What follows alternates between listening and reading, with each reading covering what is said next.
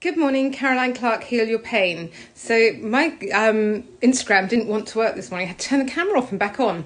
Really quick one before we start today. Um, just a couple of things yet again. We're having a posture alignment weekend at the end, uh, in the middle of November, so very excited about that. J and I are going over to suss it all out today and see about it. This is a non-profit weekend. This isn't about making money. It's about getting some really good friends together, and I think we can get up to about thirty to forty people coming, which would be amazing, all over the world, from America to Ireland to um, all over the place, all over Europe and Switzerland.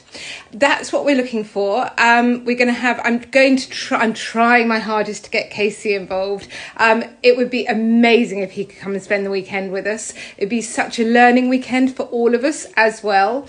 Um, I've got a friend coming down who is a nutritionist and she does life coaching as well. She's going to come and give a talk, and I'm hoping to get also a um, Tai Chi instructor over. So it's just so exciting. I can't tell you. Just so exciting. Amazing posture alignment weekend, second weekend in November.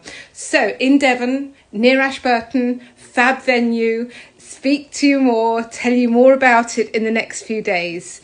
Bye.